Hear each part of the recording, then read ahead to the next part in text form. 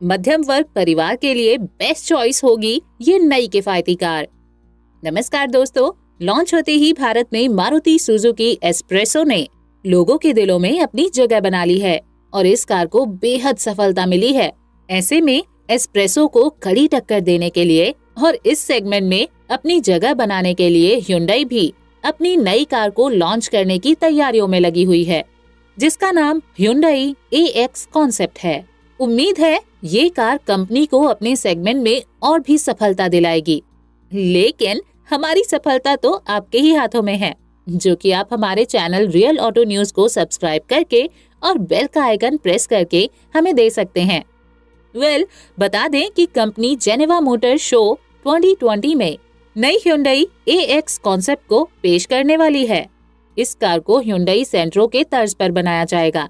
Engine के मामले में कंपनी इसमें 1.1 लीटर का पेट्रोल इंजन दे सकती है, जो कि 67 bhp की अधिकतम पार और 100 न्यूटन मीटर का पीक टॉक जनरेट करता है।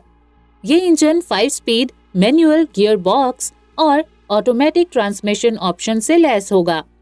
नई ह्युंडई ए एक्स कॉन्सेप्ट में बेहद आकर्षक और स्टाइलिस्ट एक्सटीरियर डिज़ाइन दी गई है।